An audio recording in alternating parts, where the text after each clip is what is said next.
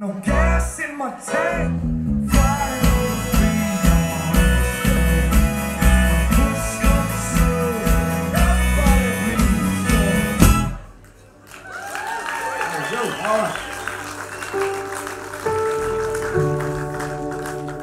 I'm Jeff Romanesco. I started Babapalooza because I wanted my band to play in my backyard.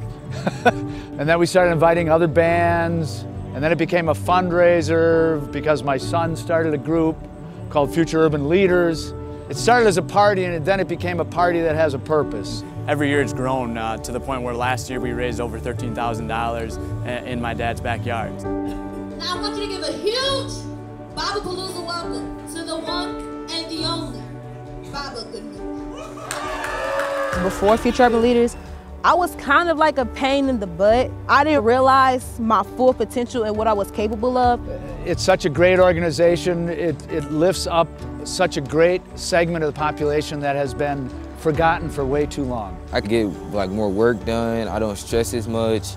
I feel like I have a more, more of a support system. I've gotten way more opportunities to better myself and to also just enjoy life and have fun because usually I couldn't do that because I was always in trouble. We do a lot of academic support and, uh, and empowerment in the younger grades. We're really trying to expose them to as many opportunities as possible.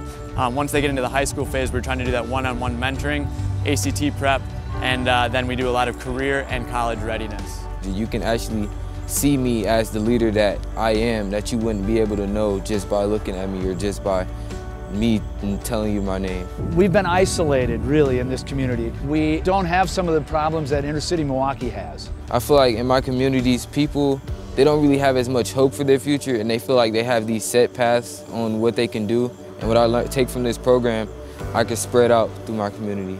I have seen some of my friends fall down the wrong path, but I would talk and help them and try to like better them too because we all can change. I feel better just being able to look at myself and know that what I'm doing is actually pretty good. We need to remember how fortunate we are as human beings in this world and give it back. As people of means, as business owners, it's really important to look around you in the world and see what you can do to lift it up. Kids in the inner city do not know their greatness. They don't know their potential. One thing the food does is lets every kid know they can be great and they also can show other people to be great. They can inspire the world. And it's really got to be the kids that take the torch and, uh, and move forward and, and they're the ones that have to make the true impact for us to really make a difference and a change. I'm one of the people who've been in this program the longest, and I would say that I still plan on sticking with the program. I would like to be possibly one of like the leaders of this organization and keep it running. Support future urban leaders, and let's go.